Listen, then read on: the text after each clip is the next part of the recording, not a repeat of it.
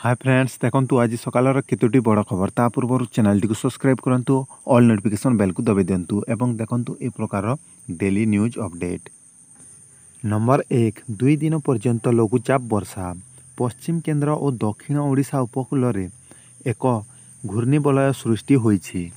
ଏହାର ପ୍ରଭାବରେ ଏବେ ବର୍ଷା ଆରମ୍ଭ ହୋଇଥିବା ବେଳେ କିଛି ସ୍ଥାନରେ ପ୍ରବଳରୁ ଅତି ପ୍ରବଳ ବର୍ଷା ସମ୍ଭାବନା ଅଛି ଭୁବନେଶ୍ୱର ସ୍ଥିତି ଅଞ୍ଚଳିକ ପାଣିପାଗ ବିଜ୍ଞାନ କେନ୍ଦ୍ର ପକ୍ଷରୁ କୁହାଯାଇଛି ଯେ ସୋମବାର ନୂଆପଡ଼ା ବଲାଙ୍ଗୀର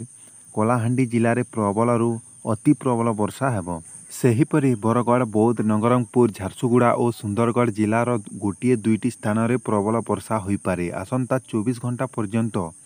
ଆକାଶ ମେଘାଚ୍ଛନ୍ନ ରହିବା ସହ ଘଡ଼ଘଡ଼ି ସହ ବର୍ଷା ହୋଇପାରେ ଏଥିପାଇଁ ବିଭିନ୍ନ ଜିଲ୍ଲାକୁ ୟେଲୋ ୱାର୍ଣ୍ଣ ଜାରି କରାଯାଇଛି ଲଘୁଚାପ ପ୍ରଭାବରେ ଉତ୍ତର ବଙ୍ଗୋପସାଗର ଉପକୂଳରେ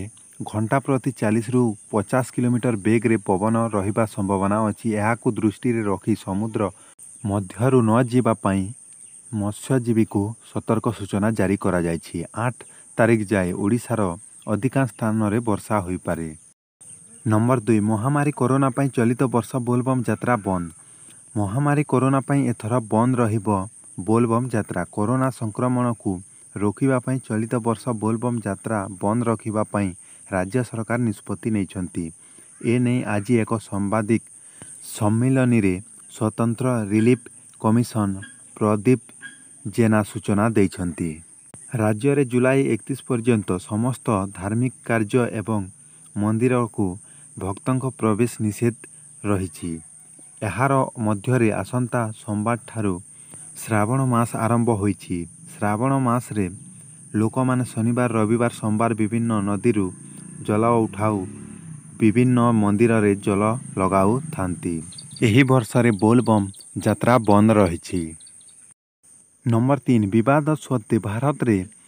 ବଢ଼ୁଛି ଚୀନ୍ ନିର୍ମିତ ମୋବାଇଲ ଚାହିଦା। अन्तर्जातिक स्मर्टफो बजारारे चीन कम्पानी र अंश चौतिस प्रतिशत आपल चौध प्रतिशत सामसङ बजार र कडि प्रतिशत चिन ओपो भिभो साउमि मोबल र अवस्था खराब गोटे बर्ष र ची कम्पनी बजार ह्रास भारतले चीन मोबाइ कम्पानी र सेयर वृद्धि गत वर्ष तुलनार चलित वर्ष अठर प्रतिशत बिक्री बढिन्छ लदाख सीमे